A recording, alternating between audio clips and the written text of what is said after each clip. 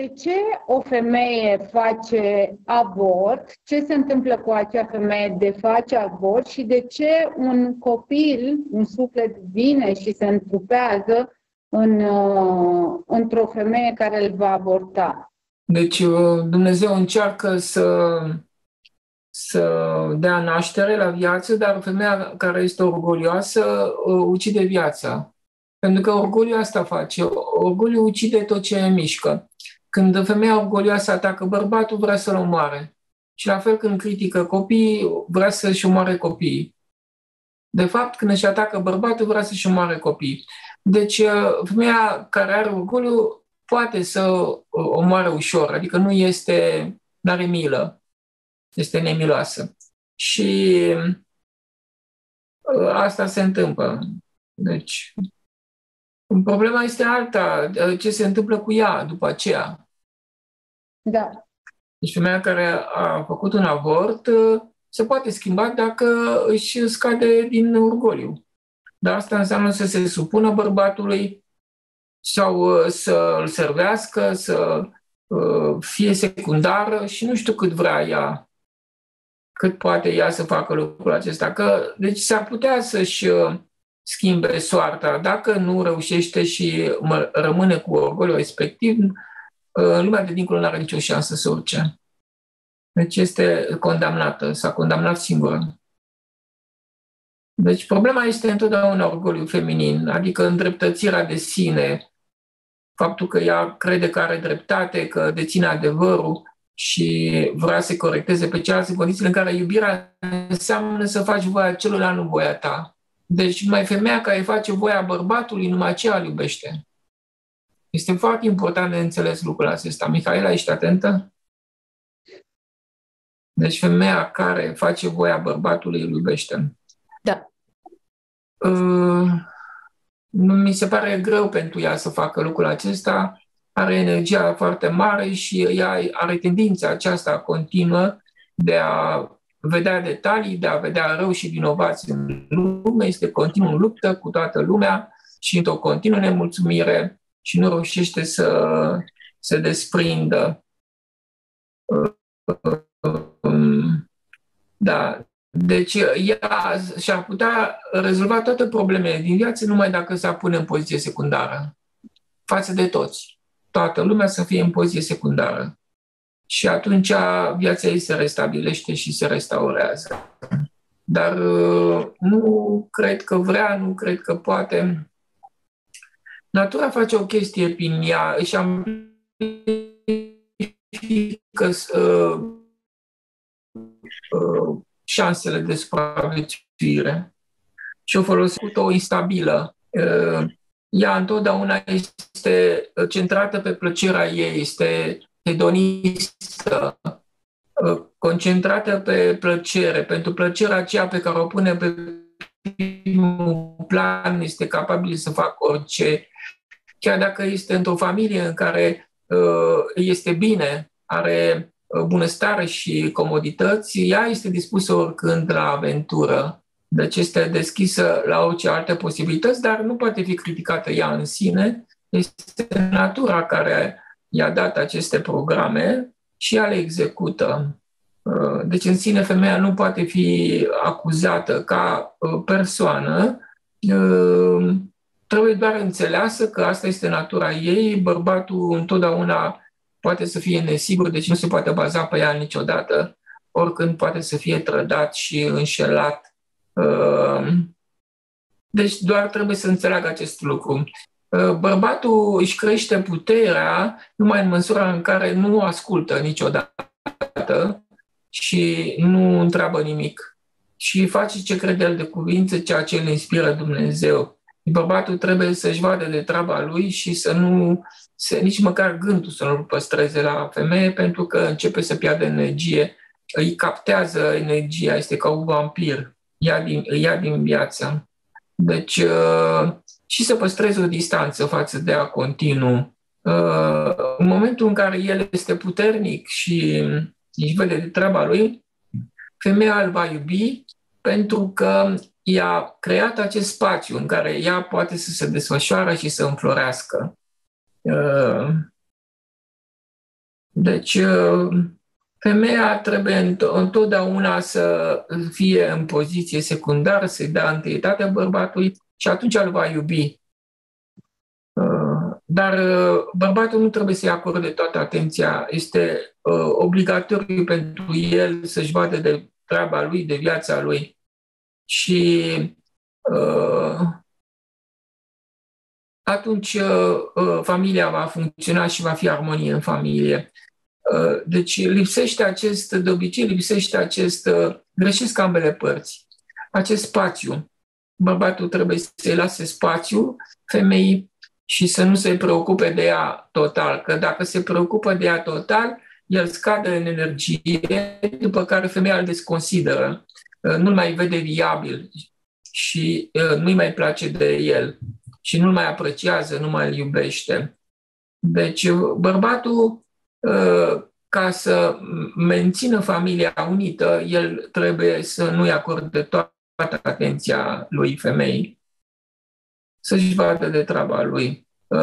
Atunci femeia are spațiu în care să înflorească, să se dezvolte și în momentul în care bărbatul nu este preocupat de ea, nu mai pierde energie, că îi ia din energie prin atenție. Și de, Femeia este ca un fel de gaură neagră în care îți pierzi uh, viața. Uh, trebuie să fii la distanță de ea cât se poate. Pentru ca lucrurile să fie mereu proaspete, să fie noi, să fie incitante și interesante, pentru că femeia este atrasă întotdeauna de nou și de aventură. Da. Și asta este soluția pentru o familie armonioasă. Deci, uh, revenind la avort, uh, orgoliul feminin uh, destramă totul, distruge totul. Orgoliul înseamnă dorință de a ucide. Și din cauza asta ea are o viață nefericită pentru că uh, crede că are dreptate, vrea să controleze și să corecteze oamenii. În condițiile în care ea nu poate în viața ei să aibă dreptate pentru că privește numai la detalii și nu vede ansamblurile. Deci nu te poți baza pe ceea ce spune ea niciodată. Deci bărbatul nu are voie să o asculte niciodată, pentru că el este inspirat de divin și divinul îi va spune ce să facă, cum să facă în toate situațiile de viață. Femeia văzând numai uh, uh, detalii și numai părți, ea nu poate să cuprindă întregul și din cauza asta toate uh, afirmațiile lui ei sunt neadevărate. Nu pot fi luate în seamă. Uh, singurul lucru trebuie să facă să tacă. Deci trebuie să-și cunoască natura, Uh, așa este construită ea, privește spre pământ, spre detalii. Nu este un lucru rău. Uh, privind spre detalii, ea poate să aibă grijă în mod perfect de familia ei, de copiii ei și atât. Deci nu, ea nu poate să intre în meserie exterioare unde se cere viziune de ansamblu și predictibilitate. Adică să poate să vadă la distanță ce urmează să se întâmple. Deci ea nu are o viziune strategică despre viață, decât tactică. Deci trebuie să-și cunoască natura și să nu iasă din natura ei, pentru că atunci apare suferința. Și ce se întâmplă, Marius? De ce... Mai ești acolo, Gabriela? Da, da. da. Ce se întâmplă? De ce alege un suflet sau de ce este trimis un suflet um, la, la o astfel de mamă să se întrupeze și apoi să fie abortat? Mai auzi, Marius? Pentru că mai este un pic de durere care se poate produce.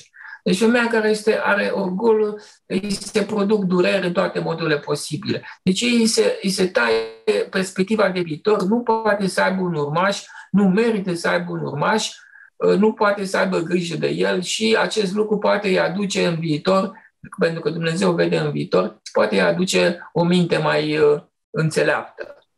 Deci uh, Divinul încearcă în toate modurile posibile, inclusiv pentru un bărbat care nu realizează nimic în viață și e dezamăgit total de el și acela este bun pentru ea pentru că îi taie toate speranțele de o viață stabilă și sigură. Deci tot ceea ce primește femeia orgolioasă este drept, uh, divin și adevărat și are nevoie și să fie fericită că Dumnezeu are grijă și o, o va umili în toate modurile posibile și fără milă. Deci Dumnezeu nu are milă cu orgoliul nostru, ne-l distruge, ne ia la țintă întotdeauna. Dar e bine. Și înseamnă că și acel sufletel de copil are nevoie de experiența aceea, nu? De a fi... N-a fost trimis întâmplător în acea experiență, nu? Nu, nu. Uh, copilul este dat pentru părinte, deci tema okay. este părintele. Ok. Da, am înțeles. Da, sigur. În cazul în care, de exemplu, o mamă uh, rămâne însărcinată și uh, se, sarcina este pregătită pentru gemeni, dar unul dintre ei nu se dezvoltă. Unul este adus pe lume. Uh, păi să ne uităm ce, ce porție de orgoliu are femeia, că de acolo uh, pornește totul. Deci sunt elemente din, uh, din ea care blochează nașterea un al doilea copil. Adică pretenții, așteptări, critici, nemulțumiri, toate lucrurile acestea, ansamblul acesta de lucruri, atașamente de, va, de materie în toate formele posibile, care uh, nu, nu-i dă posibilitatea pentru că nu are suficient de energie subtilă. Deci energia subtilă se obține prin înfrânare, reținere, depărtare și mai departe, mm. dăruire. Deci dacă ea nu are energie subtilă, nu poate să ducă o sarcină până la capăt. Este cazul meu, deci eu nu am știut că, sunt, că am sarcină dublă decât în momentul în care am născut. Într-adevăr, am avut uh, o sarcină oarecum cu probleme, pentru că de la șapte luni eram, aveam iminență de avort și am stat vreo două luni în spital până am dus sarcina la capăt, dar am născut normal, ușor, chiar foarte ușor pentru prima sarcină. Și atunci am aflat că, de fapt, eram pregătită încă pentru, încă pentru încă un copil care nu s-a dezvoltat. Și la noi în familie sunt cazuri de băiat și fată, erau gemeni, sora mea mai mare are băiat și fată, sora mea mijlocie era din băiat și fată și Cumva cred că și eu aș fi putut aduce un băiat și o fată, dar se pare că la mine băiatul nu a vrut să vină. Deci asta e. Deci uh, nu uh, pe ramura genealogică nu ați, ați epuizat energia, nu mai aveți energie. Deci, în general, femeia înainte de a se gândi să facă un copil, Uh, ea trebuie să facă un efort de câțiva ani de zile, 50 ani de zile, în care să se uh, uh, încarce cu energie subtilă prin supunere și slujirea celorlalți, prin depărtarea de atracțiile simțurilor, pentru că ea va face, atunci va avea energie și va putea aduce o sarcină și chiar dublă la capăt. Deci totul este problemă de energie subtilă. Trebuie să sacrificăm materia ca să putem face rost de această energie înalt vibrațională, din care se fac situații favorabile, oamenii, tot ceea ce dorim noi, fericire, sănătate. Deci, interesant este că omul caută materia în loc să caute această energie subtilă care se obține prin supunere și slujire. Deci, el, de fapt, adaugă materie care presează sufletul și atrage suferința. Deci e ca și când ca un sinucigaș care vrea o durere mai mare. El nu-L vrea pe Dumnezeu. Nu-L vrea pe Isus, pentru că asta însemna să se îndepărteze de materie tot timpul, în toate momentele din zi. Adică să nu-și caute mai mult binele, plăcerile și uh, ușorul. Uh, deci este esențial ca e cea mai mare comoară pe care o poate avea omul și femeia este cea mai mare comoară pe care poate să o lase moștenire copiilor ei, este această energie subtilă. Deci a să rămână în poziție secundară și are garantat că copiii ei vor ajunge bine și se vor împlini în viață. Altfel nu. Deci fără această energie subtilă nu îi lasă niciun fel de comoară copilului și el va suferi în toate modurile posibile. Deci dacă vrea ca copiii ei și să se sacrifice, ca copiii ei să ajungă bine în viață, ea trebuie să sacrifice materia tot timpul, ă, dreptatea ei, adevărul ei, mereu să se supună, să dea întâietate bărbatului și făcând lucrul acesta, îi va fi bine în viață ei și copilul ei. Pentru că ea, în momentul în care, spre exemplu, respectă bărbatul, ea, de fapt, și încarcă copiii cu energie. Este indirect nu direct grijă pe copil, că femeia greșește că îi acordă toată atenția copilului și neglijează bărbatul. Atunci începe destrămarea vieții copilului, își omoară copiii. Pentru că toată energia trebuie dată întâi la prioritate. Toată energia trebuie dată întâi lui Dumnezeu, deci bărbatului. Și atunci copiii vor fi bine. Pentru că uh, uh, Dumnezeu atunci îi ridică casele de pe copil. El folosește bărbatul, părinții sau copiii corector împotriva femeii. Deci femeia, dacă vrea să fie bine copilului sau copilul, ea trebuie neapărat să uh, se supună bărbatului ca să-l încarce cu energie subtilă și atunci uh, Dumnezeu îi va ridica casnele, adică uh, îi va face, copilul îi va face o viață minunată funcție de câtă dragoste are ea. Deci trebuie să dăruiască dragoste ca să primească dragoste. Deci da. ea știe să fie iubită de bărbat, dar dacă ea nu dăruiește, nu are cu ce să fie iubită. Femeia este iubită cu iubirea din ea față de el. Dacă ea nu-și iubește bărbatul, atunci nici copiii nu vor ajunge bine. Totul ține de iubirea femeii, care înseamnă dăruire de energie înalt vibrațională. Este ca o baterie. Deci, din cauza asta, Dumnezeu a dat foarte multă energie ca să poată să o dăruiască mai departe să aibă de unde să dăruiască și să rămână și ei. Dar în momentul în care ea folosește această energie ca să ia locul bărbatului, s-a stricat totul și își omoară copiii. Când femeia atacă bărbatul și omoară copiii, toate bolile copiilor, ă, doar 10%, sub 10% dintre boli sunt cauzate de motive genetice, energetice, adică programe care vin din spate. Dar peste 90% dintre cauze îmbolnăvirii copiilor o reprezintă atacul asupra bărbatului. Deci, uh, divinul este nemilos. Vreau să spun că uh, se riscă, femeia riscă moartea copilului foarte ușor. Și moartea ei. Deci bărbatul nu, nu este permis să fie atacat pentru că dacă e atacat, de exemplu, chiar dacă bărbatul pleacă din căsătorie și ei se despart și mai departe și por, uh, poartă ură pe el sau zice că este vinovat, își atacă copiii în continuare pe subtil. Deci bărbatul nu este vină niciodată, este orgoliul ei care este de vină, care produce uh, neiubire și bărbatul uh, răspunde la neiubire cu agresivitate. Rolul agresivității lui este acesta, așa cum am povestit, să o ducă în iubirea orice ar fi. Deci, orgoliu, ca să-i salveze viața ei și copiilor ei. Și este esențial să înțeleagă că natura este secundară. Să intre în natura secundară și va fi bine. Și copiii vor fi sănătoși și fericiți în viață. Merită acest... De fapt, nici nu e un sacrificiu. Este natura ei, are energie, poate să-și iubească bărbatul. Că de vreme ce a zis că îl iubește la început și a fost atrasă de el, nu înțeleg de ce se răzgândește după aceea. Păi nu e aceeași iubire, nu e același om. Nu e același Dumnezeu acolo. Da. Deci doar o femeie care este încărcată cu energie subtilă de la divin poate să aducă, să aducă prunci pe lume, deci este oarecum un mediu, un mediu divin pentru femeie să, să poată să aducă copii pe lume, pentru că nu orice femeie poate să aducă copii pe lume, nu? Corect. Deci o femeie care poate să aducă copii pe, pe lume este o femeie care are, are putere divină în ea.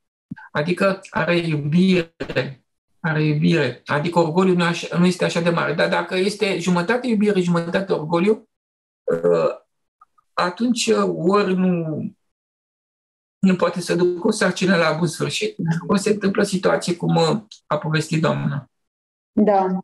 Deci trebuie, înainte de, de a uh, produce copilul, a, uh, înainte de a crea copilul, uh, ea trebuie neapărat un an, doi, trei, cât mai mulți ani să fie într-o stare din aceasta de supunere ca să se încace cu uh, iubire. Și uh, de, de supunere față de bărbat este important, că uh, în, mod, în momentul în care Dumnezeu vede că ea încărcă băiatul cu Uh, bărbatul cu energie, atunci îi va ridica casnele. Adică ea ca să aibă un viitor fericit și copiii ei, ea trebuie să respecte bărbatul în mod absolut. Ceea ce nu prea se întâmplă. Da, și de aici pornește toată, toată brambureala. Și chiar dacă bărbatul pleacă și nu iubește și uh, este din cauza ei, uh, este un fel de autocondamnare și în același timp uh, um, copiii ei vor fi urmăriți de, de probleme. Pentru că divinul nu-i, nu-i scoate casnele, nu-i ridică casnele pentru că o reglează și prin copil, decât în momentul în care devine absolut de îngăduitoare și înțelegătoare. Deci ea este obligată să atingă iubirea orice ar fi ca să se rezolve problemele din viața ei. Așa nu se pot rezolva. Le repetă. Până când va fi încerchiată. Da. Și capătul lucrurilor este, sunt bolile de lungă durată. Avem aici o doamnă, mama ei a avut foarte multe pierderi de sarcini, deci își dorea să facă copil, dar pierdea sarcina, nu ducea până la capăt, uh, iar ea acum uh, nu, nu are copii. Are păi din cauza asta, ce a făcut tatălui? Uh-huh. Ce a făcut tatălui mama ei? Acolo este problema. Nu știu dacă poate să convingă, nu, poate, nu știu dacă poate să explice aceste lucruri.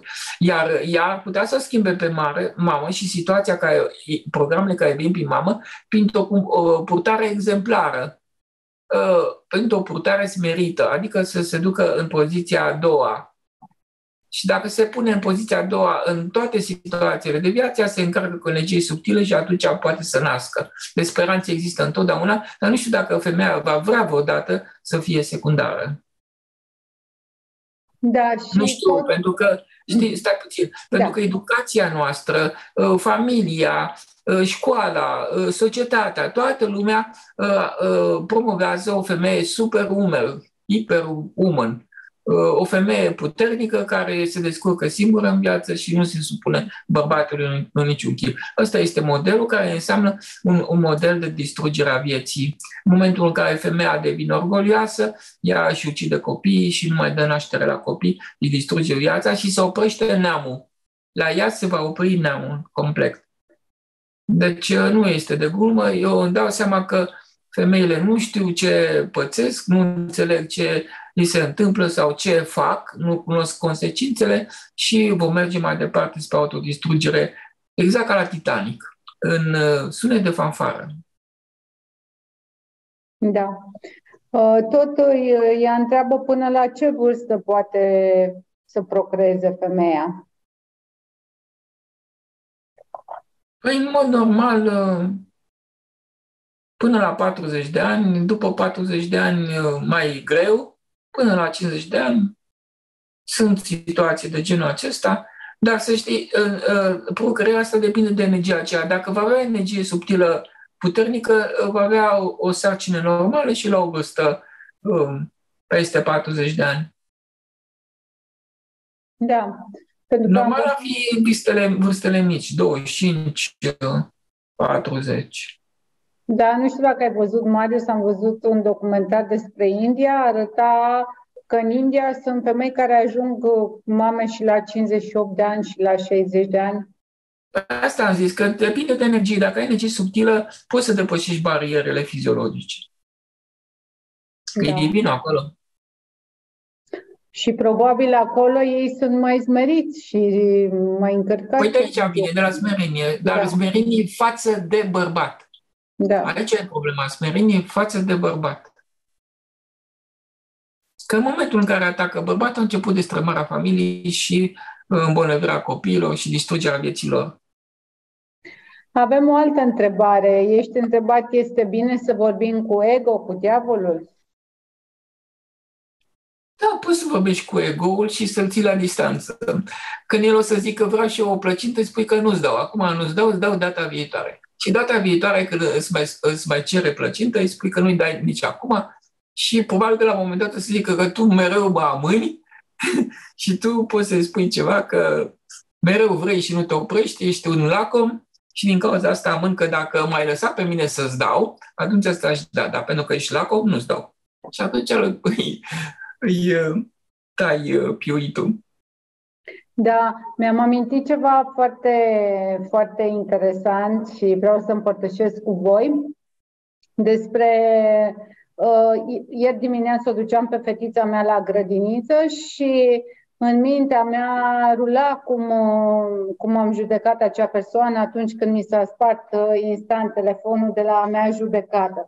Și dintr-o dată aud în spatele meu, era un tătic cu un băiețel, veneau la grădiniță și băiețelul îi spunea, îi spunea tatălui, uh, eu sunt. Și tatălui îi spunea, eu te-am păcălit că eu sunt. Și băiatul îi spunea din nou, tu nu înțelegi, eu sunt, lasă-mă întotdeauna pe mine primul. Deci pentru mine a fost atât de clar uh, mesajul de la Dumnezeu, eu sunt, lasă-mă întotdeauna pe mine primul, dăruiește mie și lasă-mă pe mine să, să fiu cel care, cel care conduce și care îți arată calea. Deci pentru mine a fost așa un, um, un mesaj foarte revelator care mi-a venit tot printr-un copil. Da, este foarte frumos cum ne vorbește Divinul. Și mergem mai departe, o altă întrebare de pe chat. Uh, nu trebuie să lăsăm nicio afirmație a ego-ului uh, neinversată, dar când, afirmați, uh, când afirmațiile ale ego-ului vin prin partener sau tată sau cineva pe care nu poți să-l contrazici, atunci cum facem cu inversarea afirmațiilor? Le facem în gând dar în primul rând, nu, nu, nu, nu. Sunt din, din femeie, deci uh, uh, afirmațiile negative ale bărbatului sunt din ea. Adică ea, în alte momente, în alte situații, a gândit negativ și vine negativitatea din față. Cum, uh, cum s-a întâmplat cu Florentina. În momentul în care s-a supărat două zile pe prietenul ei, a venit din față uh, lovituri la servici. Deci uh, trebuie să înțeleagă că nu bărbatul face ceva ce întoarce înapoi ceea ce a fost în ea. Deci trebuie să se păzească de ea, să nu aibă gândire negativă și atunci nimic neplăcut nu va veni în față și bărbatul nu poate să fie agresiv. Că el este agresiv cu nivelul de agresivitate pe care îl are femeia, dar poate să-l aibă în alte locuri, în alte situații de viață.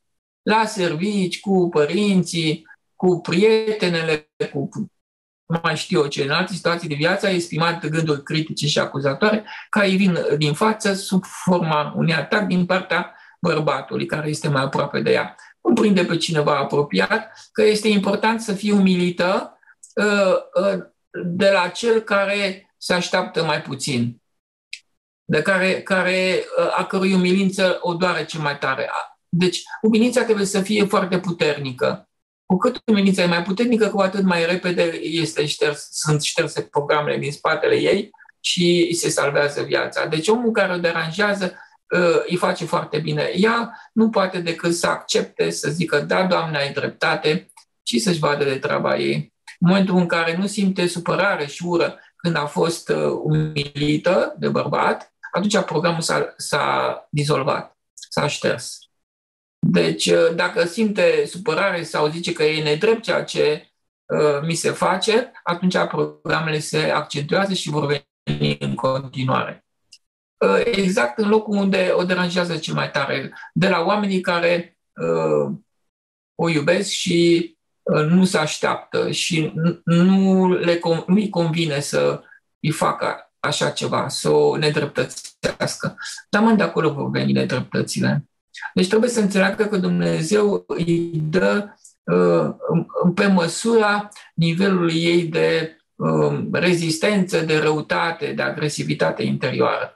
Și uh, trebuie să-i dea cu o forță mai mare decât răutatea ei. Deci va primi o răutate mai mare din față, până o va îngenunchea. Dar trebuie să înțeleagă că omul care o deranjează, de fapt, îi face bine. Trebuie doar să înțeleagă, să, să inverseze, să nu-i zică că este un lucru rău, că este nedrept ce îmi face, să nu luptă, să nu reziste, să nu se apere. Asta este foarte important, pentru că acolo e divinul care o corectează. Deci nu bărbatul îi vorbește rău, ci Dumnezeu îi vorbește urât. Pe nivelul ei de agresivitate interioară sau de atașament. Că poate să-i apară o conversie a uh, faptului că este atașată de ceva, are o patimă și patima aceea se transformă în cuvinte injurioase de la cei dragi. Deci o conversie din asta la care oamenii nu se, nu se gândesc. Ei zic că eu sunt bine, nu am făcut rău la nimeni, nu m-am certat cu nimeni și sunt certată. Da, dar uh, ai, ai avut, uh, um, ai, ți-ai făcut plăceri care n-ai mai avut energie pentru că făcându-ți bine tot timpul ai dus, ai presat sufletul dincolo de linia roșie subțire și imediat sufletul tău a comandat soțului tău să, să spună ceva urât. Deci propriul nostru suflet este cel care ne sancționează, nu oamenii sunt de vină, de sufletul divin, din noi Dumnezeu prin prin oameni ne corectează și ne aduce în iubirea ce fi. Deci întotdeauna ceea ce zice ego că este rău este cel mai mare bine posibil, ar trebui să fim fericiți, să zicem, da, Doamne, ai dreptate, pentru că întotdeauna El are dreptate, nu greșește niciodată, El este perfect în tot ceea ce face.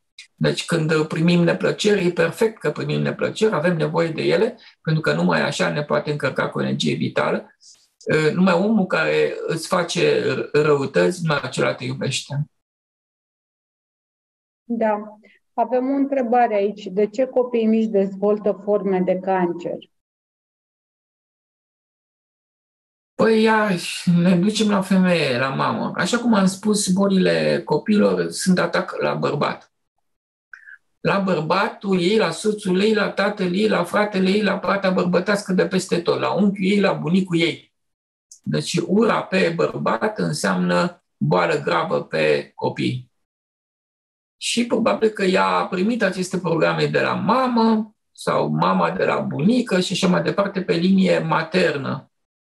Deci lucrurile nu se pot opri decât dacă își schimbă gândurile față de uh, masculin, partea masculină, pentru că atacul asupra bărbatului este atac asupra creatorului Universului. Și în același timp, așa cum am povestit la avort, este atac asupra vieții. Este dorință de a ucide viața, oamenii, în momentul în care femeia dorește să omoare bărbatul, dorește să-l omoare pe Dumnezeu și vrea să distrugă Universul, îi trebuie să înțeleagă că asta nu îi se va permite. Deci asta înseamnă uh, o boală gravă la copil, înseamnă uh, un orgoliu foarte mare la femeie, primit, căpătat, uh, făcut, nu contează, care înseamnă atac asupra masculinului. Nu se poate ataca bărbatul niciodată, că se atacă viața. În momentul în care omori bărbații, nu se vor mai naște nici femei. Deci femeia va dispare definitiv. Deci trebuie să înțeleagă că ea se distruge pe ea în mod perfect. Este o cruzime de nemai gândit, este de negândit uh, această neiubire pe care o are femeia față de bărbatul ei. Nu pot să mă închipui de ce nu înțelege că are energie, are inteligență și mai departe și ar putea să înțeleagă că acolo este Dumnezeu în fiecare din bărbat, bărbații, bărbatul pe care îl are și toți bărbații pe care îl are, îi are în familie, este divinul și uh, nu poate fi distrus. Divinul, care este forța uh, imensă a Universului, sufletul este pe primul plan, materia nu poate să distrugă sufletul, sufletul va distruge materia într-o clipă. Deci este puterea colosală și absolută a Universului, ea se ridică împotriva divinității, ordinii divine și asta este o brăznicie fără margini și din cauza asta ea este în pericol de a muri. Dumnezeu este uh, nemilos cu orgoliul femeii, îl distruge fără milă și îl scoate, o scoate din planul fizic într-o clipă. Deci a riscă moartea ei și a familiei și a copiilor ei și a ei în alte vieți. Deci uh, uh, uh, se va opri la ea tot uh, lanțul uh, biologic al familiei ei. Deci uh, riscurile sunt imense, iardurile sunt două, um, ne așteaptă pe oricine nu înțelege aceste lucruri, că sufletul este pe primul plan, deci bărbatul este, este sufletul, materia e pământul și pământul nu se poate ridica împotriva sufletului în vecii vecilor, pentru că sufletul poate distruge într-o clipă. Se vede asta la moarte la moarte când uh, ce pleacă din corpul omului? Sufletul. Sufletul cine este? Este Isus. Pe o viață întreagă l-ai desconsiderat pe Isus și ai râs de el și ți-ai bătut joc de el, nu? Și l-ai criticat, l-ai acuzat și ai vrut să-l controlezi și să-l corectezi pe Isus, care este sufletul tău, și îl plângi la moarte. Pe, la moarte, corpul ar vrea să mai trăiască 100 de ani și nu poate să ceară nimic sufletului. Acolo se vede puterea. Deci noi o viață întreagă n-am făcut nimic pentru suflet și cerșim la sfârșit ani la viață, ceea ce este regretabil pentru că nu înțelegem că sufletul este primordial și materia este secundară, este creată și nu are niciun fel de drept împotriva sufletului, nu poate să spună nimic, el este autoritatea supremă, la fel cum este bărbatul. Atâta timp cât femeia nu respectă bărbatul, va fi dezastru în viața ei și copiii vor ajunge pe niciunde. O întâmplare de aici, de la noi din sală. În familie sunt permise glumele, adică este permis ca, fe- ca femeia să fie jucăușă cu soțul ei. Jucăușă cu soțul ei, da, da. pentru că îi arată apreciere. Îi arată apreciere, dragoste, îi, îi arată respect, considerație. Tot, tot ce dorește bărbatul este să fie apreciat, să fie uh, să conteze, să însemne ceva pentru femeie, să simtă că uh, contează pentru femeie. Și asta se face prin motive pe care îi le arată ea tot timpul, toată viața. Toată viața trebuie să arate că este important. Și atunci el nu va ști ce să facă, pentru că el, fiind asemănător cu Dumnezeu, se întoarce ca să o ocrotească, ca să o protejeze, să-i dăruiască iubire, grija lui. Deci, uh, a, așa trebuie să fie femeia. În, în toate modurile trebuie să uh, îi dea întâietate și să-l respecte în toate modurile posibile, să uh, facă ceea ce el zice, să-i ceară voie în situațiile deosebite, să, pentru că prin simplu fapt de a-i cere voie, ea îl încarcă cu energie subtilă. Da și nu, nu are nevoie să-i spună părerea niciodată, pentru că părerea ei este întotdeauna greșită, că este particulară. Ea privește detalii și nu va putea să privească întregul în vecii vecilor, pentru că nu asta este construcția ei biologică.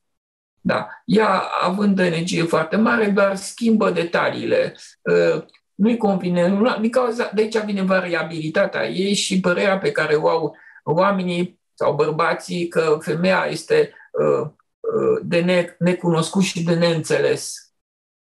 Asta este. Deci uh, trebuie să înțelegem această situație. Ea mereu este variabilă pentru că schimbă părțile între ele și zice exact, uh, uh, asta poate e mai bună, asta este mai frumoasă, poate asta este mai frumoasă. Deci le schimbă între ele și niciodată nu se stabilizează.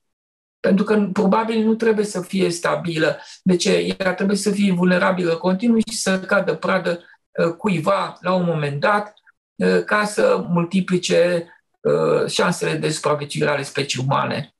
Deci până și această variabilitate are un sens divin în ea. Această inconstanță a femeii și a faptului că la un moment dat ea poate să cadă. Chiar dacă este într-o căsătorie stabilă, are copii frumoși care îi aduc mulțumiri și atunci poate să cadă. Deci este un nivel la care femeia poate să cadă. Dacă bărbatul insistă, petrece mult timp cu ea și nu se lasă deloc, poate după un timp să cadă, pentru că se obișnuiește cu ea, cu el, se obișnuiește cu el și să n-aibă credință că este morală și uh, stabilă și că nimeni nu-i face nimic niciodată, că nu este adevărat.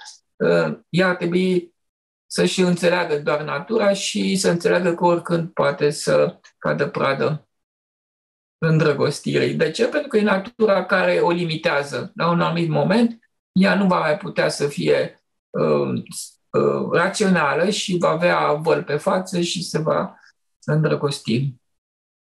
Deci bărbații niciodată nu pot să fie siguri uh, femeia poate oricând să încalce toate regulile, să calce picioare morala și tot, toate regulile pe care bărbații le-au pus în, în calea ei, ea le poate depăși, are toată puterea să facă lucrul ăsta și uh, forța ei stă în sex. Deci cu ajutorul sexului ea manipulează bărbatul și îl pune să facă ce vrea ea. Greșeala bărbatului este că o ascultă și, și cade pradă, ca fluturile pe lampă. Uh, uh, de obicei, femeia nu apreciază bărbatul care cade foarte ușor pradă. Apreciază numai pe acela care Uh, nu este de plin interesat, care își vede de treaba lui. Pentru ea, acel bărbat este un bărbat puternic. Un bărbat puternic este un bărbat care nu-i acordă toată atenția, pe acela îl apreciază, pentru că acel bărbat este mereu nou, uh, uh, se poate descurca singur în viață, ea apreciază bărbatul care are realizări în viață, care realizează ceva în viața lui, care dovedește că poate să facă ceva, pentru că femeia vrea stabilitate și siguranță. Deci va alege întotdeauna bărbatul care este puternic. Da, că tot vorbeam de diversificarea întrebărilor, avem o întrebare aici. Dacă cineva încalcă regulile de circulație, de exemplu trece pe linia continuă, dar nu deranjează pe nimeni în trafic în acel moment, cum este? Este sancționat de divin? Da. Este sancționat de divin. Deci, uh, uh, pentru că este, asta înseamnă că este dispus să încalce toate regulile, da? Și dacă le încalcă pe toate, atunci înseamnă inconstanță, înseamnă uh, faptul, lipsă de respect față de divinitate. Deci în momentul în care respectă o linie continuă, respectă pe Dumnezeu, de fapt. Deci omul care nu respectă linia continuă când conduce, nu respectă pe Dumnezeu. Pentru că nu respectă pe ceilalți în trafic, putând oricând să le creeze probleme. Că dacă încalcă o dată o linie continuă, este capabil să încalce și altă dată și în alte situații în care, datorită orgolului, ea s-ar putea să nu vadă toate consecințele și să facă accident. Deci pune uh, viața tuturor în, în pericol. Deci el, ca să poată să ajungă să nu uh, intre în situații conflictuale, în momentul în care el respectă uh, linia continuă, de fapt uh, respectă divinitatea și uh, îți scade orgoliu, pentru că este o acțiune de scădere a orgoliului până și respectarea liniei continue. Pentru că uh, este o constrângere pe care el o realizează pe tendința pe care o are naturală de a-și uh, multiplica șansele, uh, de a, a își face voia în momentul în care omul își înfrânează voia și nu își face voia, el de fapt va fi ocrotit de divin pentru că el scade orgoliu, scade ego și vine divinul și îi susține viața. Deci noi nu suntem interesați să încălcăm regulile, suntem interesați să nu le încălcăm. Și la fel femeia. Femeia are tendința naturală să calce picioare morala și regulile sociale. Nu le respectă niciodată pentru că ea pune pe primul plan plăcerea, plăcerea ei. Și pentru plăcerea ei este capabil să facă orice. Ea gândește, ea face un calcul, ea gândește uh, mercantil, gândește um, uh, interesat, ea, ea iubește interesat, nu are are o iubire ca bărbatul. Bărbatul are iubire dezinteresată, uh, o iubire romantică, o iubire uh, uh, conservatoare el vrea stabilitate și siguranță în viață, pe când femeia nu urmărește stabilitate, ci plăcerea. Uh, în momentul în care bărbatul nu mai oferă avantaje și plăceri, poate să uh, scape de el oricând, să-l dea la o parte oricând. Și dacă, uh, dacă femeia nu, dacă bărbatul nu face ceea ce vrea ea, înseamnă că femeia este puternică și uh, acea relație se va destrăma. Lumea nu poate să, să ceară nimic, uh, să-l controleze, să-l corecteze pe bărbat, să-i ceară uh, ceva, să uh, aibă vreo așteptare. Ea nu poate decât să se supune pentru că, prin definiție, femeia este iubirea orice ar fi și iubirea nu cere nimic de la nimeni, nu are nevoie să fie iubită și uh, nu știe decât să îi libereze. Deci femeia este posesoarea iubirii divine absolute și nu o practică. Nu o vrea. nu e așa, Micaela? Așa este, ai dreptate. De ce nu o vrea? Pentru că nu a suferit suficient ego. Asta e. Da, și în uh, continuare la întrebarea cu linia continuă, um, ce se întâmplă cu cei care încalcă aceste reguli, dar nu-și plătesc taxele? De ce nu-și plătesc? Este tot de la ego? Da, bineînțeles. Da. Uh, în momentul în care nu plătești taxele, la fel nu-L respecti pe Dumnezeu, care a pus aceste reguli. Că regulile acestea sunt inspirație divină nu sunt puse de oameni, ci Dumnezeu le pune. Toate regulile sunt uh, uh, intervenții divine în viața noastră. Inclusiv, spre exemplu, când treci la uh, trecerea de pietoni nu? și ai un stop în față. Stopul acela este, stai puțin, mai face, mai fă și tu o pauză în gândire, în acțiune, uh, mai reculege-te, mai stai și tu cu Dumnezeu. Deci noi când stăm la stop, mai stăm cu Dumnezeu puțin, de, să-L simțim, să-l, să-l, să ne bucurăm de El. Că altfel tot alergăm așa ca nebunii.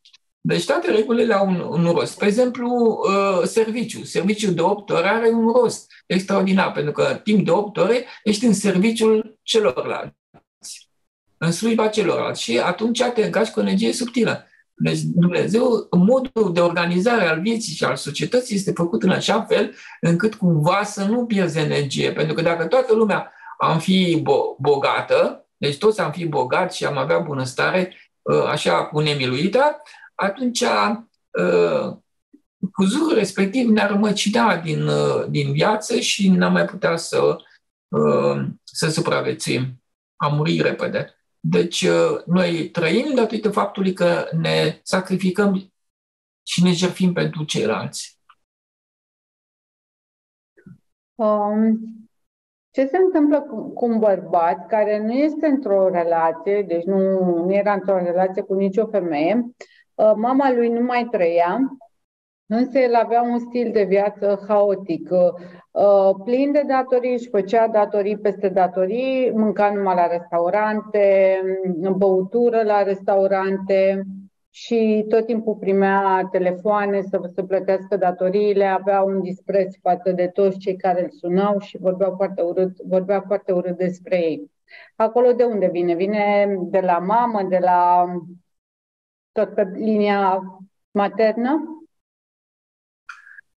Da, dar pe de altă parte, uh, el are viața lui, uh, are lecțiile lui proprii. Probabil că modul acesta de viață pentru el dezordonat uh, uh, este un mod de viață care pe el îl vindecă de ceva. Probabil că în viața trecută a fost un om care a fost uh, prețios în sensul că a pus perfecțiunea pe primul plan și acum este dezordonat. Deci în modul acesta sufletul lui se purifică, nu este de, de acuzat, nu poate fi comentat. În, în general, bărbații nu pot fi comentați de ce se comportă într-un anumit fel, dar în cazul acesta, acest om compensează ceva pe care a făcut, pe care l-a făcut invers înainte. Deci, cu siguranță, el a fost un om care a fost hiperorganizat, hiperexigent, uh, care a pus perfecțiunea pe primul plan și acum trăiește imperfecțiunea. Deci are nevoie de imperfecțiune ca să poată să, să, să-și curețe sufletul. Pentru că uh, numai imperfecțiunea este prezența lui Dumnezeu. Omul când caută ordine și perfecțiune, el se îndepărtează de divin. Deci noi nu avem nevoie de stabilitate și siguranță, ci de o instabilitate și mai mare. Uh, distrugerea este mai importantă decât construcția. Cu cât distrugerea e mai mare, cu atât vom supraviețui, pentru că noi, prin distrugere, distrugem coeziunea și unirea cu uh, materia, adică legăturile atașamentul de materie și distrugerea aceasta ne eliberează sufletul și ne înalță. Deci noi, clipă de clipă, avem nevoie să ne distanțăm tot timpul de lumea lucrurilor și de atracțiile vieții și să nu le vrem. Când nu le vrei, urci. Și asta și fiecare știe sigur. Zi de zi de zi vezi ce ai făcut. Ți-ai făcut plăceri sau nu ți le-ai făcut. Dacă ți-ai făcut plăceri, atunci nu vei putea urca dincolo niciun pic. Deci noi trebuie să învățăm să ne distanțăm de materie. Rostul materiei este doar de trambulină. Am venit aici ca în mijlocul fericirilor vieții să nu le vrem. Forța cu care nu vrei materia și te distanțezi de ea este forță de înaintare în lumea de dincolo și de urcare. Noi am venit aici pentru lumea de dincolo, nu ca să câștigăm ceva din lumea aceasta. Pentru că în momentul în care câștigăm mai mult decât avem nevoie și ne preocupăm exclusiv de lumea aceasta, acela este iadul. Așa se numește iadul. E atrăgător, e frumos, e fascinant, este fermecător, nu? Dar se numește iad. Pe el scrie iad. Pe o mașină frumoasă scrie iad, pe o casă mai mare scrie iad, pe mai mulți bani decât ai nevoie scrie iad. Deci oamenii se condamnă singuri pentru că biserica nu și-a făcut lucrarea, ar fi trebuit să îi învețe, să ia deoparte, să facă mai curând școală cu ei, să îi educe dar am impresia că nici nu știu, este comod de ceea ce fac, nu își asumă responsabilități și din cauza asta nici ei nu vor urca lumea de dincolo. Atât când nu faci totul pentru oameni, ai posibilitatea să faci totul pentru ei și să ajuți și nu faci, atunci te condamni. Singur. Adică condamnarea este mult mai gravă decât uh, la oameni obișnuiți. Adică Dumnezeu te-a pus într-o poziție în care tu poți să faci totul pentru educația lor și nu faci și pui uh, accentul pe formă și aspect, pe lucrurile exterioare care nu au niciun fel de importanță, tu destram de fapt viața, contribui la destrămarea vieții și distrugerea ei. Ă, dovadă ce se întâmplă în mănăstiri, mănăstirile care au acum agresie și faianță, faianță roșie și faianță albă, am văzut, termopane, ele nu mai au decât cinci vețuitori și sunt goale. Goale. Da. Am fost în Maramureș, una dintre cele mai mari mănăstiri de acolo și impunătoare și foarte înaltă. Ă, stareța de acolo spunea că nu sunt decât cinci viețuitoare. Într-un complex care poate să adăpostească peste 300 de călugări sau călugărițe. Deci asta înseamnă că biserica se distruge pe sine singură, Duhul Sfânt a plecat de acolo, acolo nu este bunăstare, nu este Dumnezeu. Greșeală fundamentală. Și când te uiți acolo, cine a investit în, în mănăstirea respectivă, vezi numai bani străine. Asta este. Deci e ca și când ai vrea lucrul ăsta, ai aproba lucrul ăsta, vrei ca să se destrame. Știi foarte bine că acolo unde este Duhul bunăstării și comodității nu este divinul. S-a dus Duhul Iisus și din lume s-a dus. Unde este bunăstare, nu este divin, nu este Isus. Mai avem o altă întrebare. Ești întreba Marius dacă noi suntem ghidați de îngeri, ni se arată calea și ei ne lasă să alegem? Este o ghidare care o face chiar uh, Dumnezeu și prin îngeri, într-adevăr, care zice așa, uite, astea sunt soluțiile, uh, ne pune în contact cu ele, întâlnim oameni remarcabili care pot să ne învețe lucruri deosebite, nimerim cărți deosebite și mai departe și nu le vrem. Dacă vede că nu vrei, benevol să te îndumnezești, atunci te lasă să suferi. Te, las, te chiar stimulează, stimulează. Vrei o casă mai mare? Uite, ia o casă mai mare. Vrei o mașină mai frumoasă? Ia o mașină mai frumoasă. După care apar nenorocirile în viața omului, începe să sufere maxim și uh, suferința aceea, Dumnezeu speră ca până la un moment dat să se sature de această suferință și să vină mintea la cap. Dar de cele mai multe ori nu-i va veni mintea la cap niciodată preferă omul să se ducă cu bogățiile lui acolo în iad. Și asta se va întâmpla. Cum arăta Adam, primul bărbat creat de Dumnezeu? Eu în Shangri-La am explicat că am intrat în mintea acelui Adam, sau parcă eram în mintea lui, așa și am văzut ce s-a întâmplat, tot procesul care s-a întâmplat. Nu știu la înfățișare că nu aveam oglindă. Deci nu știam, nu știu cum, cum era uh, atunci. Dar intrasem în mintea lui și am văzut ce s-a întâmplat. El păstra atenția tot timpul la divin, nu mânca niciodată, dar nici nu vedea nimic în jurul lui și o păstra legătura cu Dumnezeu continuu. Se, se hrănea de la divin, de la soarele de iubire.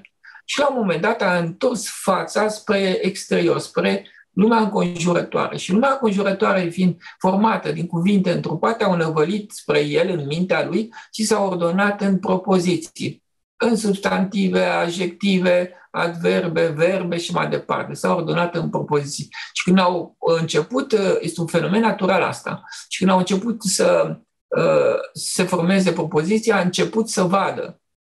Și în Biblie zice și a, și a ajuns ca noi, adică să vadă a fost fascinat de ceea ce vedea în exterior, vedea pentru prima dată, nu văzuse așa ceva niciodată, că lumea este fascinat de frumoasă, așa, și este fermecătoare, a fost fermecat. S-a mai întors o singură dată să vadă dacă nu l-a pierdut pe Dumnezeu și a zis, și-a dat seama că este acolo și nu l-a pierdut și după care vine greșeala fatală, s-a mai întors odată spre lume și a intrat în ea cu totul, s-a pierdut în frumusețea ei, în fascinația respectivă și când s-a întors să-și mai amintească de Dumnezeu, l-a și uitat. L-a uitat și nu și-a mai amintit de el, nu l-a mai văzut. Și a rămas, a rămas aici, exilat în această realitate, în această lume.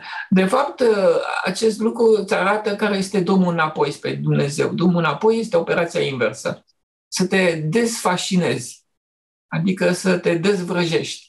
de această lume înseamnă să te distanțezi periodic de ea în toate formele posibile. Asta înseamnă să faci întotdeauna ce nu-ți place. Îți place să te speli cu apă caldă, nu te mai speli cu apă caldă, te speli cu apă rece.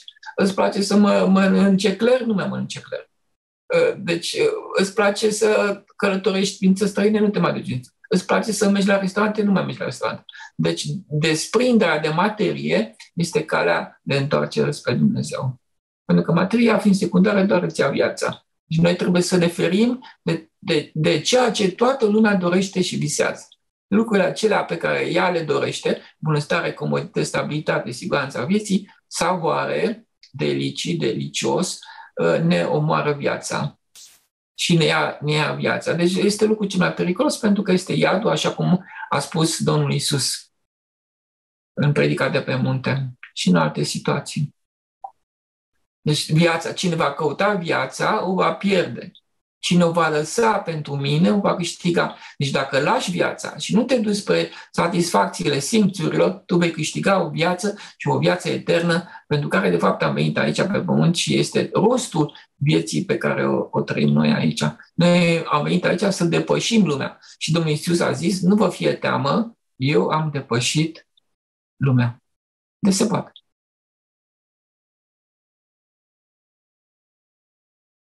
Și fericirea nu mă pornește decât atunci când ai depășit. Este cea mai mare fericire posibilă, este incalculabilă. Am trecut prin ea, mi-am dat seama că nu există ceva în lumea asta. Nici dacă deții toate bogățiile lumii și ai avea toate satisfacțiile lumii, nu poți să atingi această fericire care vine din tine, este natura ta, e la purtător. Nu am făcut nimic ca să o obțin din afară, n-am făcut decât să retrag atenția de pe lumea aceasta și să rămân acolo. Atât am făcut. Și am explicat în acea experiență cu mișcarea lentă. Acea experiență m-a dus în contact cu Divinul uh, și să nu mai vreau, ajunsese să nu mai vreau nimic din lumea aceasta. Bineînțeles, nici nu mai mâncam, deci uh, eram total desprins, dar nu mai eram funcțional în lume. Aici era uh, miza. Uh, puteai, dacă erai singur, să practici mai departe, să stai în starea respectivă, ai fi fost un nimeni, trăiai cu energia de sus, uh, ai fi trăit o viață de miracol tot timpul și așa mai departe, dar uh, pierzi viața socială. Și nu puteam, fiind copil, nu puteam că îți speriam pe toți. Dar am gustat această stare care este incalculabilă și care este natura noastră, e la putător, nu e nevoie de nimic din afară ca să fii fericit. Fericirea se ridică numai în măsura în care te distanțezi de lumea aceasta materială. Atunci se, se ridică fericirea. Este simplu, dar nu vrea nimeni. Garantez că nu vrea nimeni. Omul vrea ceva din lumea aceasta să obțină și nu vrea, nu vrea această fericire, care nu depinde de nimic din afară. Altă întrebare. Există Sfânta Treime și simbolul crucii? Asta se traduce. Simbolul crucii este jerfa. Sunt sigur că nu vrea nimeni jertfă. Că jertfă înseamnă de materie. Jertfă de materie înseamnă fără comodități, fără bunăstare, fără mai mult bine pentru sine, fără dreptatea ta, fără adevărul tău. Nimeni nu vrea crucea, nimeni nu vrea pe Isus. Eu n-am întâlnit pe cineva care să dorească uh, pe Isus. Nu am întâlnit. Pentru că înseamnă o, o, o stare continuă de desprindere absolută de uh, lumea aceasta și oamenii nu-și asumă această desprindere. Nu înseamnă să ieși din lume.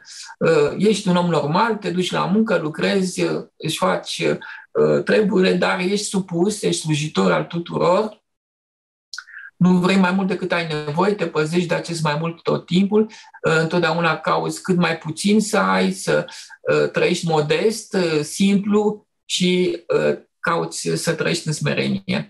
Uh, dar acest om nu prea l-am văzut. Poate fi, dar nu știu pe unde este. Probabil prin munți, în sihăstrie. Uh, da, deci nu e, nu e neapărat nevoie să te duci să te izolezi într-o mănăstire sau în sihăstrie. Este suficient să... Cea mai înaltă mănăstire este în lume, să fii aici, în mijlocul atracțiilor vieții, să ai puterea să le spui nu. Asta este cel mai mare lucru posibil și să spui da la toate solicitările vieții. Deci aici îți curezi sufletul extraordinar de frumos, este o mănăstire puternică lumea și uh, te îndumnezește dacă înțelegi regulile și legitățile. Și mai ești întrebat, este bine să ne facem un simbolul crucii? Cine face simbolul crucii? Decât să faci simbolul crucii, mai bine te supui cuiva sau slujești pe cineva sau te lași uh, pe tine uh, folosit sau faci voia celuilalt sau, sau servești pe cineva. Deci, uh, decât să te rogi la Isus, mai bine fi Isus. Adică comportă-te ca Isus sau ca și Dumnezeu și ar fi suficient. Pentru că divinul nu e o problemă de identificare. Noi ne-am identificat cu corpul, știm că asta am intrat la, în poziția aceasta de comoditate în care sunt situații, oamenii sunt în mănăstire și uh, nu reușesc să-L simtă pe Dumnezeu, ci din contră se comportă ca o ființă diavolească. Uh, pentru că critica, acuză, îi văd pe ceilalți adversari și dușmani, luptă cu toată lumea și acolo e iadul pe pământ. Deci, uh, identificările au fost făcute cu corpul și nu cu sufletul. Sufletul ce înseamnă? Uh, sunt definițiile acelea pe care le avem noi și o să le punem în, în două tablouri, ce este egoul, diavolul și ce este sufletul Isus sau Dumnezeu sau iubirea. Și a, acolo vom vedea cât de ușor noi cădem. Sufletul este, uh, intri în suflet sau în divin, te unești cu Isus, imediat în momentul în care te-ai supus celuilalt, i-ai dat întâietate, faci voia lui, nu voia ta, îi servești pe oameni, te lepezi de tine în mod desăvârșit, nu cauza adevărul și dreptatea ta și te opui mai mult binelui tău întotdeauna. Deci, instantaneu se, se intră în divin în momentele acestea. Degeaba omul își face uh, o cruce dacă el în viața obișnuită de zi cu zi, el își păstrează tendințele și dorințele lui de mai mult bine pentru sine, are o existență și o viață în care pune uh, bunăstarea și comoditățile pe primul plan, deci el a căzut la prima bunăstare sau la prima mâncare delicioasă, el a căzut imediat, nu înseamnă nimic, anulează totul. Uh, în, în sine, deci crucea înseamnă confirmarea faptului și înțelegerea faptului că jertfa este pe primul plan, dar se jertfește oare aproape lui său continuu sau nu? Deci el dacă face o cruce, cu siguranță nu se jertfește, pentru că dacă s-ar jertfi, n-ar fi nevoie să mai facă o cruce. N-ar fi nevoie să mai obțină o valitare în plus. Ă, nu are nevoie de rugăciune, de meditație, de nicio exercițiu și acțiune. Este suficient doar să te comporți ca o ființă a cerului pe pământ, așa cum s-a comportat Isus. Ar fi suficient să întorci obrazul celălalt într-un conflict, să dai și cămașa de pe tine, când cineva ți-o cere, dacă cineva îți ia o parte din avere, să o dai pe toate. Deci noi nu credem în Dumnezeu și ne este frică de El, pentru că zicem că dacă vine Dumnezeu printr-un om și îmi cere ceva, și eu sunt obligat să dau toată averea, pe am muncit pentru ea. Da? Și noi nu dăm. Deci asta este obstacolul fundamental pentru că noi nu avem încredere în Dumnezeu și în situațiile extreme nu ne comportăm ca Isus, absolut deloc. Pentru că comoditatea pe care și plăcerile și bunăstarea pe care avem acasă este hulă. Hulă, adică uh, uh, strigă împotriva lui Dumnezeu, strigă împotriva lui Isus. Este ură pe Isus. Deci bunăstarea este ură pe divin. Să se înțeleagă asta foarte clar, știe toată lumea, de fapt, știe cum să fugă de Dumnezeu. Deci, uh, Uh, lumea noastră este o lume fățarnică pentru că noi funcționăm pe conceptele care ni le-au oferit stăpâni la lume cu miile, miile lor de angajați care gândesc tot timpul lanțuri logice de înlănțuire a oamenilor. Oamenii funcționează cu logica lor, cu lanțurile lor de explicații și nu reușesc să iasă din închisoarea cea de toate zilele conceptuală și mentală în care ne-au băgat ei. Noi trăim într-o închisoare mentală și nu știm ce înseamnă iubirea. Habar n-avem, nici nu ne interesează. Suntem niște ființe pierdute deja de acum. Dacă noi nu câștigăm raiul aici, nu avem parte de rai în lumea de dincolo, să se știe bine lucrul ăsta. Sus la parc, dacă am văzut 30 de ființe globulare în alta. Acele ființe globulare au fost niște oameni de nimic pe pământ. Deci n-au avut bunăstare, nu au avut comodități. Și chiar povesteam despre un sfânt cu cizme, doamna Ina Mocanu, povestea despre că venea la ea la birou un uh, sfânt cu cizme, care era murdar, cu dinți lipsă, nici nu pronunța bine cuvintele, nici prea înțelegea, l-am văzut într-o registrare, nu pronunța bine cuvintele, dar întotdeauna era blând, bun și îngăduitor la infinit. Nu era supărat când oamenii le splatau și își băteau joc de el. Era mulțumit de ceea ce venea din față, pentru că el spunea, știu sigur că vine de la Dumnezeu și dacă Dumnezeu atâta mi-a dat, înseamnă că știe el de ce. Da. Și toate visele lui, toate visele lui, el se vedea sus la prag cu Dumnezeu. Și uh, i-a spus, Doamne, eu o să ajung când plec de aici, acolo, sus de tot, lângă Creatorul Universului, voi nu știu ce o să faceți. El știa clar. Deci așa se măsoară uh, poziția în lumea de dincolo, raiul. Uh, raiul nu înseamnă bunăstare, bunăstare înseamnă iad. Și spune asta în toate scripturile, toate scripturile tuturor popoarelor din lume, toate religiile spun acest lucru, jertfa este pusă pe primul plan, sacrificiul de sine pentru ceilalți, dar noi nu respectăm mai nimic niciodată. Și știi de ce? Regulile acestea uh, religioase ar trebui să fie transformate în reguli sociale. Și dacă regulile religioase devin reguli ale societății, de ordonare a societății, atunci ar mai fi speranță.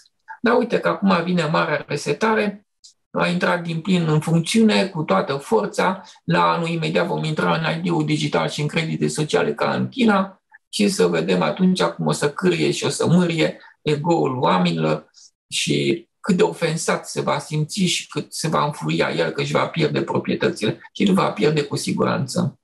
Deci să nu-și facă niciun fel de probleme, dar cu încetul ca broasca aruncată în ceaun când se încălzește așa încetul cu încetul și în momentul în care va înțelege și va observa că de fapt e fiartă acolo și va încerca să iasă de acolo, nu va mai putea. Asta se va întâmpla. Ca broasca în apa fierbinte. De ce, anumite, de ce anumite mame își țin copiii lângă ele, chiar dacă au depășit uh, vârsta de 40 de ani și nu îi lasă să se căsătorească și să-și facă propria lor viață? Da, e din atașament exagerat și distruge viața copilului. Nu ar fi normal, trebuie să-i eliberezi imediat.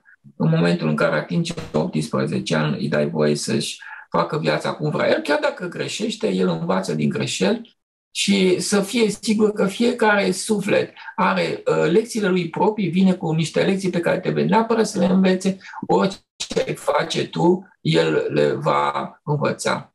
Deci se va opune întotdeauna dacă vrei să îi dai o anumită direcție, va face pe dos. Deci n-ai niciun fel de șansă. Cum le spunea băiatul uh, lui Camelia, pentru faptul că tu vrei să faci ce vrei, vrei tu, îți voi face întotdeauna împotriva. I-a spus pe față. Da. O altă întrebare despre timp. Copiii altă nu, întrebare. Copiii nu au noțiunea de timp, nu se gândesc la ieri, azi sau mâine. Uh, cum s-a născut noțiunea de timp și ce vrea ea de la noi? În ce moment al vieții suntem prinși în această capcană? Nu am înțeles. Că să vă luat vocea. Da. Despre timp. Copiii nu au noțiunea de timp, nu se gândesc la ieri, astăzi sau mâine. Cum s-a născut noțiunea de timp și ce vrea ea? În ce moment este, al vieții suntem este ego. Prinși? Da, okay. Am înțeles. Deci timpul este ego. Fără ego nu există timp. În lumea de dincolo, uh, dincolo de fluviul de gânduri, uh, ființele globulare nu au ego. Și l-au lăsat uh, dincolo de fluviu. l-au lăsat acolo. Și fără ego nu există timp. Sunt indiferenți la timp. Nu au elemente față de care să se raporteze. Da. Deci asta este. Sunt multe ciudățenii, că l-am spus și în, în Shangri-La, l-am povestit, venirea în viață este ciudată. Uh, noi trăim, spre exemplu, acum, dacă ne ducem pe conul temporal în spate, noi putem să trăim viața Egiptului antic, viața medievală, care a fost uh, viața neolitică, ne lăsăm la baza uh, conului temporal și acolo putem să trăim viața respectivă.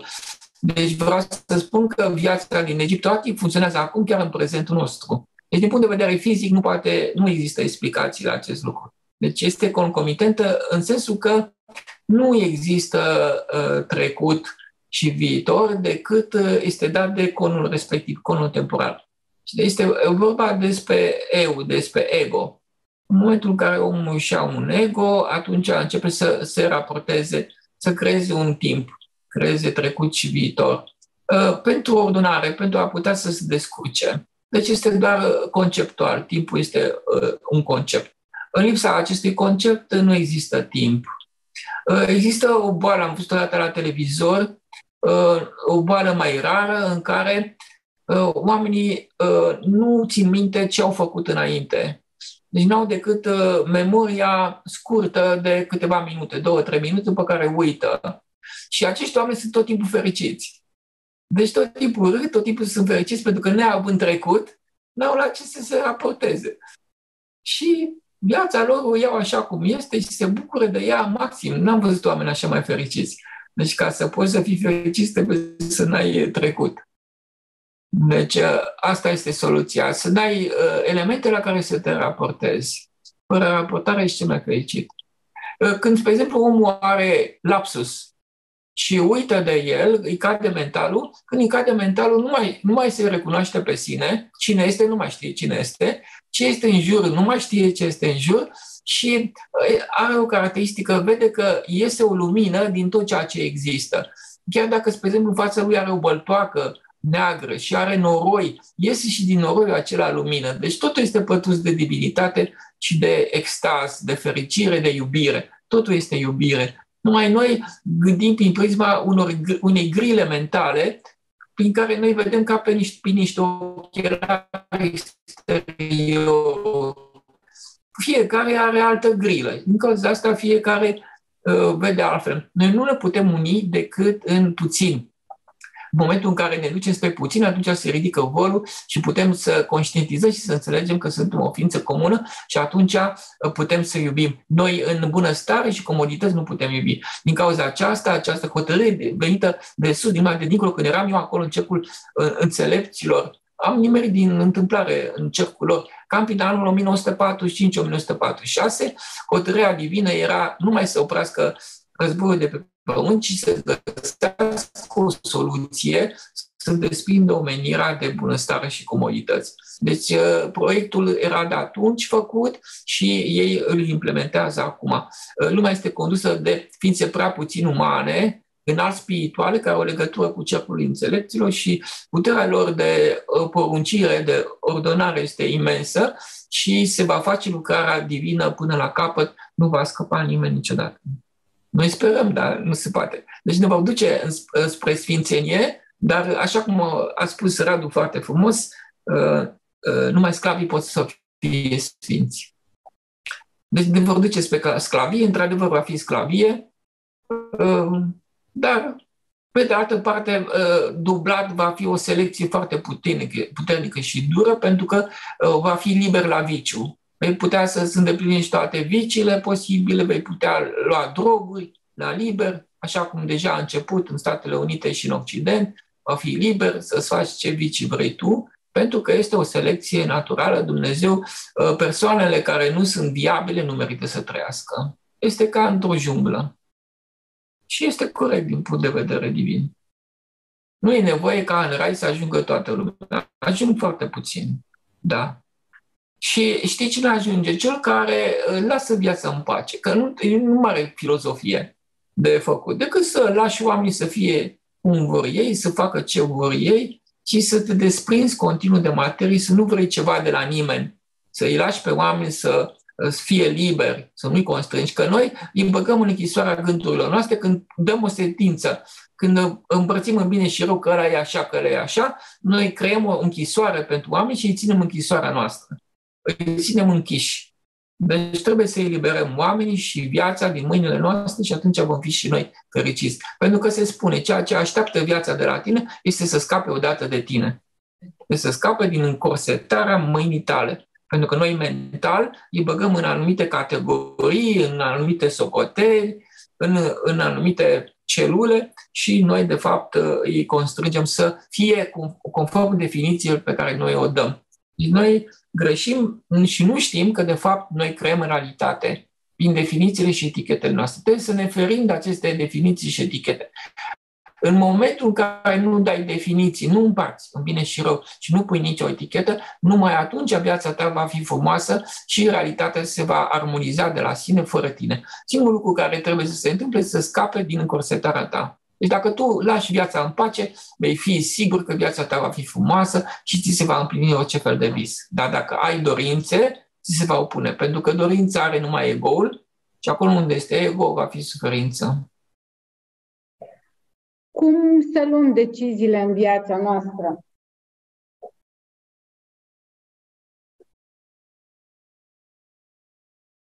Păi, cel mai bine este să putem să ne, să ne uh, reprezentăm, o, să zic, uh, un plan pe care îl avem în minte, dar repede trebuie să renunțăm la el, în sensul că nu trebuie să ne preocupăm de el. Uh, pentru că trebuie să lăsăm la, la atitudinea divină dacă merităm, dacă putem, întotdeauna Dumnezeu ne va, ne va da pe măsura puterilor noastre și dacă merităm. Deci problema nu este să se îndeplinești dorințele, ci să ajungi în starea respectivă, plin de divinitate, abandonat de sine, de ego, adică în starea aceasta de lepădare de sine absolută, în care toate miracolele se pot întâmpla. Deci nu planul contează, contează abandonul de sine, acel gol în care se poate să vină Dumnezeu să se îndeplinească orice vis. Și va face lucrul ăsta. Deci noi în viață trebuie să să facem acel gol. Este cel mai mare lucru pe care o putem lăsa copiilor noștri, pentru că se vor duce pe programe, pe fundați pe copii. Modul nostru de comportament, modul nostru de a fi, comportamentul nostru se va duce mai departe spre ei și mama este obligată să trăiască o viață de poziție secundară ca să poată să aibă această energie și să binecuvânteze pe soțul ei, pe copiii ei și să schimbe soarta celor care nu mai sunt și uh, să schimbe viitorul. Pentru că contează. Comportamentul ei de aici va defini modul de comportament în următoarea viață în care va intra. Deci, uh, totul e important. Dacă un anumit cerșător uh, apare frecvent în fața unei anumite persoane, este bine să-i dea mereu aceluiași om? Prima dată este ca să-l ajuți și este un semnal că ești atașat și că ești atașat de bani și dacă îl ajuți, te ajută foarte mult. La momentul în care vine prin repetiție, al, al a nu-i da bani este mai important pentru că i-a întări orgoliu și el n-ar mai face nimic și a trăit din banii aceia. Deci îi faci un rău. Prima dată îi faci un bine, după care îi faci un rău.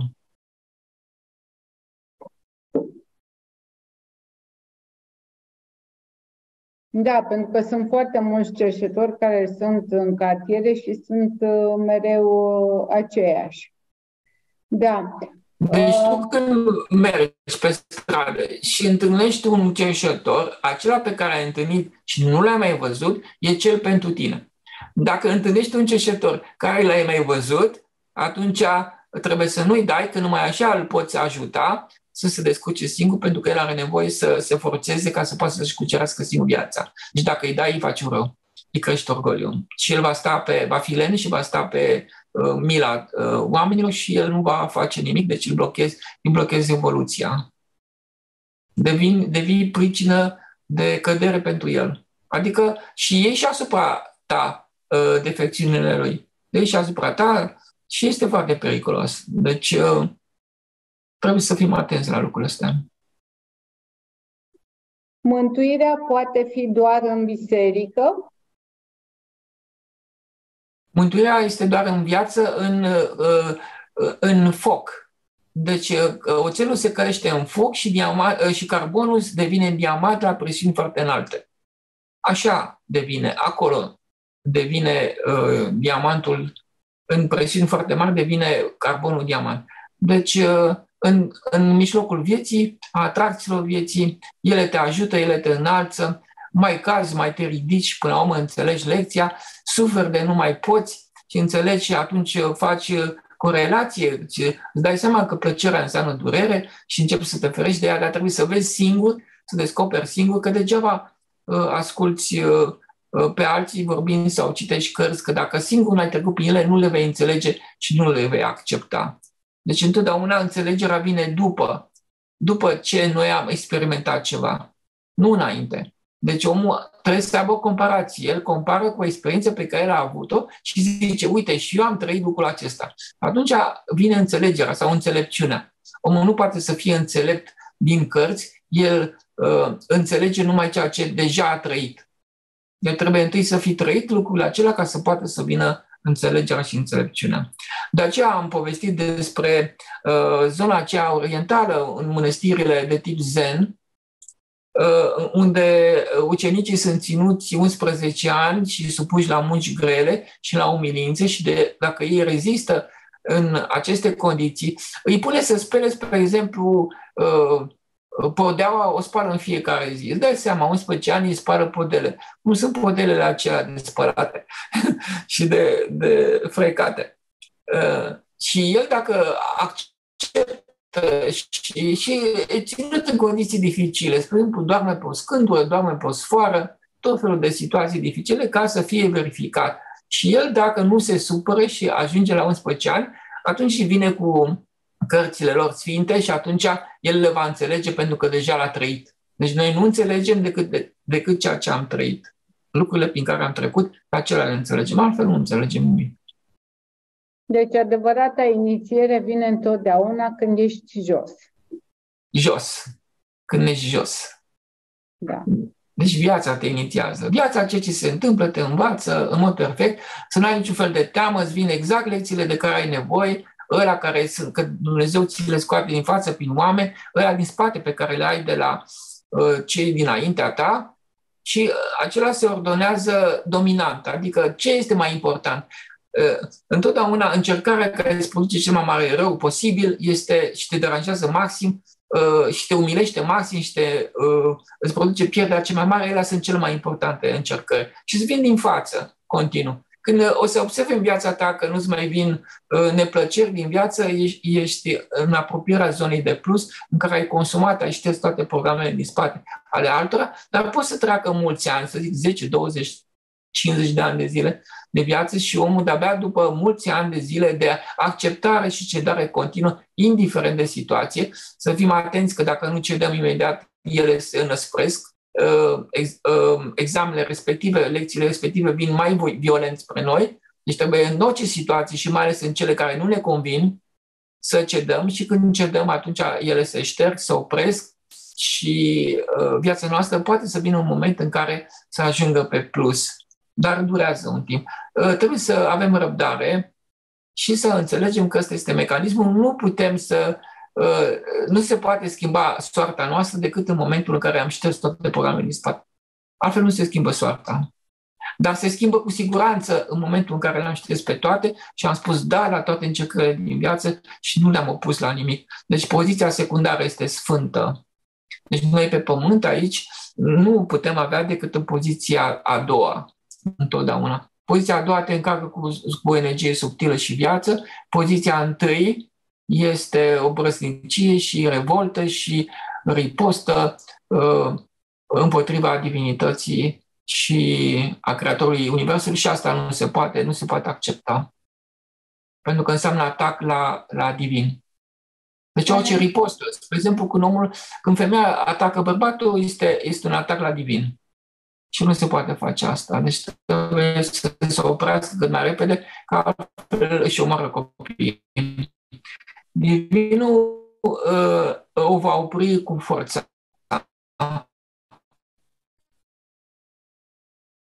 Da. Uh, și este, este nemilos. Dumnezeu zice că Dumnezeu este numai iubire, păi din iubire. Ca să salveze sufletul, corpul poate să moară. Deci corpul poate să fie distrus în orice clipă, el nu discută chestia asta. Când vede că cu nostru, ă, Dumnezeu poate rapid să ne ă, scoată din planul fizic pentru că nu merităm să trăim. Pentru agresivitatea interioară care ne dă ego-ul, pentru că suntem nemulțumiți, nu ne convine, ripostăm, reacționăm. Această ă, agresivitate interioară trebuie să fie oprită cât mai repede, că noi atacăm, de fapt, viața, natura și universul și pe creatorul lui implicit. Deci trebuie să ne ferim de poziția întâi.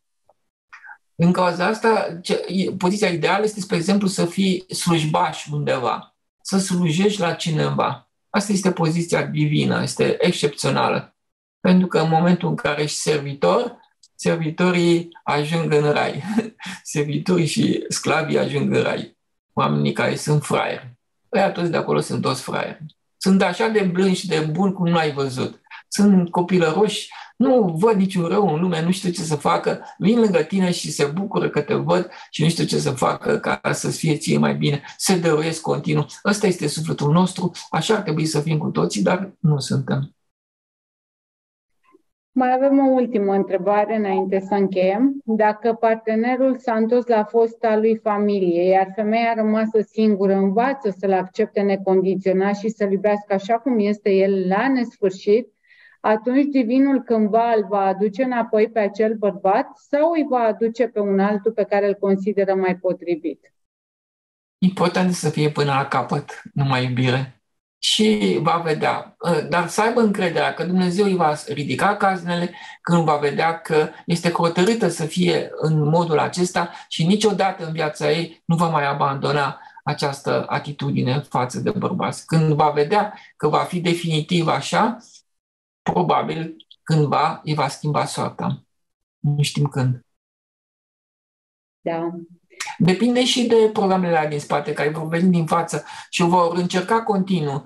Și ea dacă va ceda tot timpul și cu bucurie va servi pe oameni și va sluji, atunci cu viteză mai mare le va șterge, mai repede va sări etape și uh, programele astea nu vor mai veni spre, pentru că din față. Pentru că dacă ea se împotrivește la o încercare care vine din față și nu știe că de fapt Dumnezeu o pune la un examen ca să-i curețe sufletul și este bine ei să zică da, dacă nu știe lucrul ăsta și se împotrivește și luptă și se apără, atunci ele devin mai agresive și iarăși stagnează și bate pasul tot pe loc, pe loc, pe loc.